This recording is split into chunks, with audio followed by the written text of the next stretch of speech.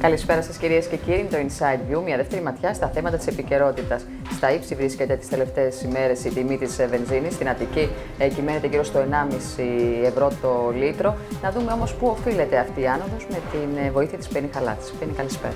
Καλησπέρα, Τέτα. Είναι αλήθεια ότι η τιμή της βενζίνης έχει ανέβει στα ύψη.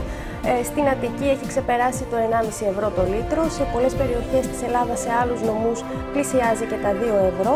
Ε, βέβαια, όπως σημειώνουν παράγοντες της αγοράς, μιλώντας στο insider.gr, αυτό δεν είναι ένα φαινόμενο μόνο ελληνικό. Και στη Γαλλία, για παράδειγμα, και στην υπόλοιπη Ευρώπη, η τιμή της βενζίνης έχει ανέβει, όπως και του πετρελαίου.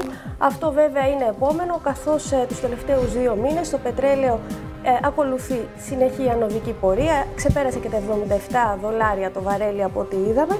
Ε, να πούμε όμως ότι ακόμα και πριν από αυτή την, ε, την, απόφαση. την απόφαση του Τραμπ, η οποία βέβαια επηρεάζει τις τιμές ε, του πετρελαίου για τις κυρώσεις ε, κατά Ήταν προς τα πάνω πάλι. Ε. Ναι, και όχι μόνο αυτό, η Ελλάδα συγκαταλεγόταν μεταξύ των 6-7 ακριβότερων χωρών, μεταξύ 167 χωρών διεθνώς, ήταν από τις ακριβότερες χώρες λοιπόν στο πετρέλαιο και ξεπερνούσε κατά πολύ και τις άλλες ευρωπαϊκές χώρες, αλλά και χώρες οι οποίες είναι παραδοσιακά ακριβές, όπως είναι για παράδειγμα η Ελβετία.